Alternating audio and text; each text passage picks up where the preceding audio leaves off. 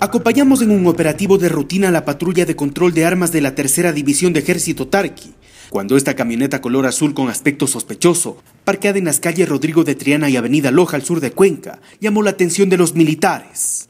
Fue en la requisa que sorpresivamente entre las bicicletas y llantas del balde del automotor se encontró cuatro pistolas automáticas y dos rifles con miras telescópicas, armas de grueso calibre y gran cantidad de municiones. Estaba camuflado bajo cartones, bajo eh, algunos artefactos eh, propios de lo que es la actividad ciclística, pero eh, al verlos de una manera sospechosa hemos podido interceptarlos y poder lograr esta acción positiva para, para con la comunidad. Los tres ocupantes de la camioneta fueron inmovilizados inmediatamente por el grupo militar, hasta que la policía y el fiscal de turno tome procedimiento. La ley prohíbe la tenencia de cualquier tipo de armas y estas son especiales en función del grueso calibre de las mismas. ¿Los detenidos son ecuatorianos o, de, o se presume? Los tres aparentemente son ecuatorianos. Preliminarmente se conoce que las armas iban a ser comercializadas. Ahora las autoridades investigan para qué fin.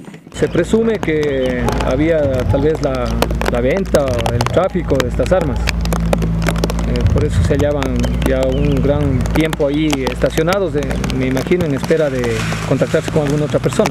Otro vehículo sospechoso de color gris logró fugar del lugar al percatarse de la presencia militar, por lo que el operativo de búsqueda continúa.